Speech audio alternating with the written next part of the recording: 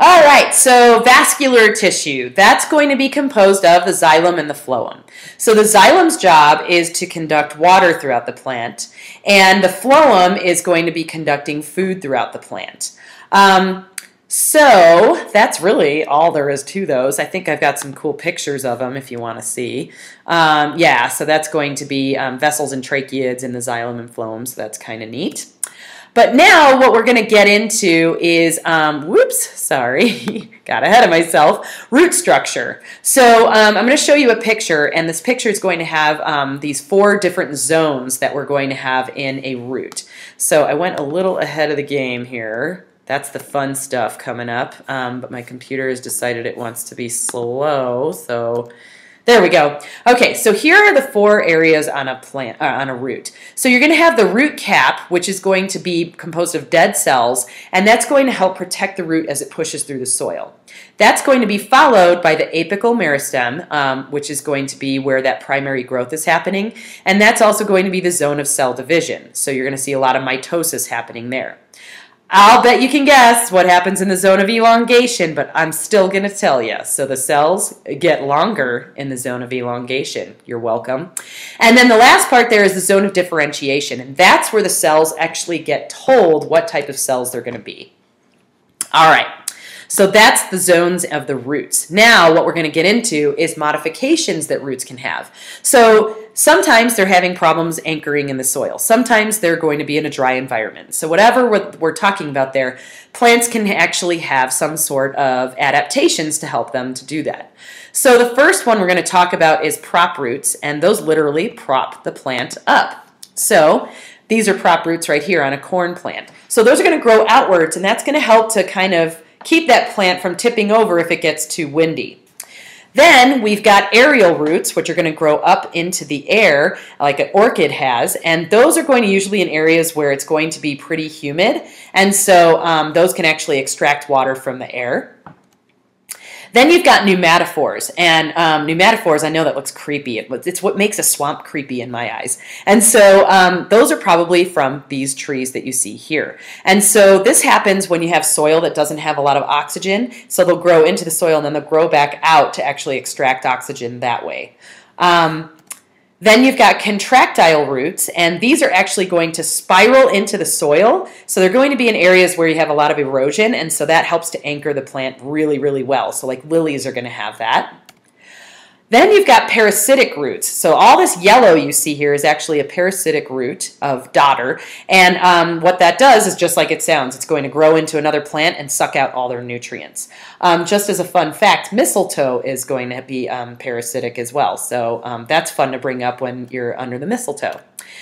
Um, and then you're going to have different types of storage roots. So you can have a food storage root like this radish that you see here, and that's going to be as a result of low nutrients in the soil. So it's going to store up nutrients whenever it can. And I don't have a picture of a water storage root, but that's going to be like pumpkins and stuff have those. And so those are designed to grow in an area where it's dry. So when it rains, they actually store the water so they can use that when they need to. All righty. Um, and then the last one is going to be buttress roots, and buttress roots are going to be these guys that you see right here. Um, that's actually a picture of a group I took to Costa Rica. Um, and that is to actually help to keep big trees from tipping over as well. All right, so in the next group, we're going to talk about modifications of stems. So stems can also have modifications to help serve whatever special purpose they have to have. Um, so we've got bulbs. So bulbs are going to um, be where you've got this little stem down here, and then you've got the big fleshy leaves growing off of it. So you've probably heard of bulbs like tulips and stuff like that are going to be bulbs. Then you've got corms, and um, corms are going to be a modified stem, but they don't have those fleshy leaves. So they have the same setup as a bulb, but no fleshy leaves. Then we have rhizomes, which are going to be like what ferns have, and that's an underground stem connecting all the plants, and then they have roots growing off of those. And then we have runners and stolons, which is like a strawberry plant, which just are horizontal above the soil. So it's just like a rhizome, but above the soil instead. Then you've got tubers. Tubers are almost like a storage stem. Um, so certain types of potatoes are going to be in that category. And then you've got tendrils, and tendrils are going to be a way that something can use to climb up. So think of ivy, um, sweet peas is in this picture um, that we see here. All right. Then the last part we're going to talk about are the different types of leaves. So leaves, as we know, are going to be important for photosynthesis, and they could be simple or compound. If they're simple, they're all one piece. If they're compound, they're going to be divided into leaflets. And um, got some pictures of that here. So this is a simple leaf, it's all one piece, as opposed to a compound leaf where it's divided into little pieces, right? Now, compound leaves can either be pinnately compound, like you see here, and that's where you have two leaves coming off per node, or it can be palmately compound, where they're all radiating out from one common location. And I remember that it's like your fingers coming off of your palm, right? Then they can also have different setups on how they come off of the branch. So you can have alternate, where you have one leaf coming off of this side, one leaf off the other, and so on and so on. You can have opposite, where you have two leaves coming off per node. And then you can have whorled, which is where they're kind of um, a little circle coming off of the branch. Now, don't confuse that with types of compound leaves. You could have compound leaves coming off of the branch in an opposite, and you can have compounds coming off as alternate. So try not to confuse those. And then the last thing we're going to talk about here is going to be um, adaptations that leaves can have. So you can have what are called floral leaves or bracts, like this poinsettia. So these are actually leaves. The flowers are these lame things right here in the middle. So usually floral leaves are a result of having a lame flower and you need to um, get pollinators to come. Then you can have spines, and spines are going to help you to um, keep from losing too much water, so like a cactus.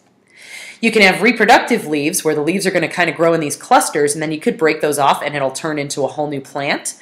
More commonly, you've probably seen a spider plant and these are those reproductive leaves and you can just crack those off and make a whole new plant. And then one of the ones I think is super cool are window leaves. So if you look at the tops of these leaves, um, they're brown, and then they're all clear, and then the green is down on the bottom. And what happens is these are submerged under the soil all the way up to that like brown point, like as much as we can get. And then what's going to happen is they can actually do photosynthesis underground because of this window part here that's going to allow sunlight to penetrate underground. I think that's super cool. Um, then you've got insectivorous leaves, and those are going to be the ones like a Venus flytrap that are going to actually um, eat different things. And so that's as a result of having low nutrients in the soil. so if you want to see some videos, here's a Venus flytrap doing its thing. Hopefully this will open. Um, maybe that will do it. There we go. Um, so you can actually see it. We'll make it bigger. Um, but I'm sure you understand how a Venus flytrap works. Um, this gets a little bit crazy, as you could tell by the title, but um, just go with it. It's pretty neat. So there you can see um, an insect getting eaten by a Venus flytrap, and then of course you can also see a frog getting eaten by a Venus flytrap. Um, so that's going to be that one. And then we also have um, something called a sundew, which is such a cool little plant. It actually has these droplets on it that are like honey consistency. And so um, what it does is it actually traps the plant like you can see here. And then eventually the plant is going to enclose on it and release enzymes to um, digest it. So that's pretty cool. Um, and you can order these and um, grow them in your office. Obviously, that's what's happening there. But they're really, really neat little plants. Um, all right, so I just want to look through here and make sure that we've seen everything that we need to talk about. Yep. All right. Um, so that's going to be all the adaptations that you can have for stems and leaves and um, roots.